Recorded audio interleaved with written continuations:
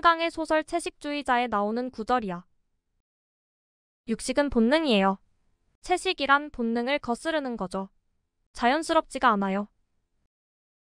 나는 이 구절을 다룬 영상을 이미 한 편 제작했어. 이번에는 다른 각도에서 이 구절을 다룰 거야. 그 전에 자연주의적 오류라는 골치 아픈 용어에 대해 잠깐 이야기해야겠어. 이 용어가 여러 가지 의미로 쓰이기 때문에 우선 명확히 정해야 혼란이 줄어들지. 하지만 여기에서는 명시적 정의를 회피할 거야. 그런 개념적 교통정리가 적어도 일반인에게는 대단히 어려워 보이거든. 결국은 자연주의적 오류라는 개념 자체와 씨름을 해야 한다는 점을 잊지는 말자. 철학적으로 성장하려면 그런 분석 철학적 시면을 또는 도덕 철학적 시면을 들여다볼 필요가 있어. 좀 더 깊이 공부하고 싶은 사람은 내가 쓴 위험한 진화 심리학을 읽어봐라. 자연주의적 오류를 범하는 사람의 생각을 따라가 보자. 인류의 조상은 아주 오랜 기간 동안 육식을 하면서 살아왔어요. 따라서 육식 본능이 진화했을 겁니다. 인간이 육식을 하는 것은 자연의 섭리입니다. 채식주의는 그런 자연의 섭리를 거스르기 때문에 바람직하지 않아요.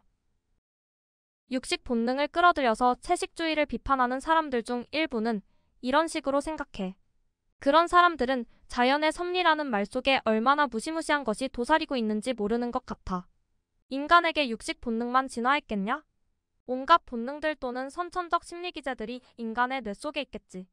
본능 후보들 몇 가지에 대해 생각해보자. 인간은 실제보다 자신을 도덕적인 사람으로 포장하도록 진화한 것 같아.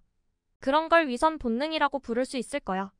남자가 때로는 여자를 강간해서 유전자 복제를 도모하도록 진화했는지도 몰라. 그것을 강간 실행 기제라고 부를 수 있을 거야. 원시 사냥 채집 사회에서 부족 간 전쟁이 상당히 자주 일어났던 것 같아. 이 때문에 다른 부족 사람들을 경계하거나 경멸하거나 혐오하도록 진화한 것 같아. 그렇다면 왜 집단 혐오가 인간의 본능이라는 얘기지? 대한민국에는 경상도와 전라도 사이에 지역주의가 있지. 동남아 출신 한국인에 대한 경멸도 만만치 않아. 육식 본능을 끌어들여서 자연의 섭리를 운운하면서 채식주의를 비판하거나 조롱하는 사람에게 묻고 싶어. 위선 기재 가설이 옳다는 것이 겁나게 설득력 있게 과학적으로 입증될 때 위선을 찬양할 준비가 되어 있냐?